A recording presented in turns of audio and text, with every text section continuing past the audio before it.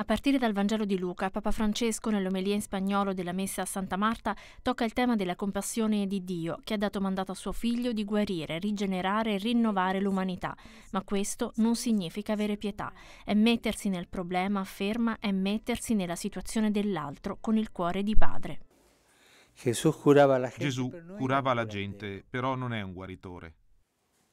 No. Curava la gente No, curava la gente come segno, come segno della compassione di Dio, per salvarla, per rimettere al suo posto nel recinto la pecorella smarrita, para salvar, para volver a poner en su sitio la oveja perdida en el corral, a la moneda perdida. i soldi smarriti da quella signora nel portafoglio.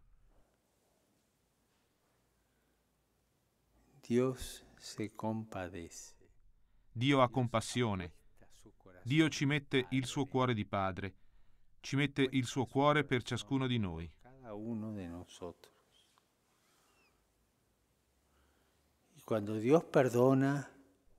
E quando Dio perdona, perdona come padre, no como un empleado e non come un impiegato del tribunale, che legge una sentenza e dice assolto per insufficienza di prove.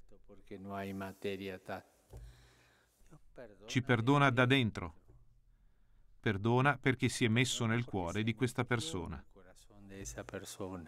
È quello che fa un sacerdote, commuoversi, impegnarsi nella vita della gente, anche se spesso ci lamentiamo del suo disinteresse. Un prete, aggiunge il Papa, è un sacerdote come Gesù è sacerdote.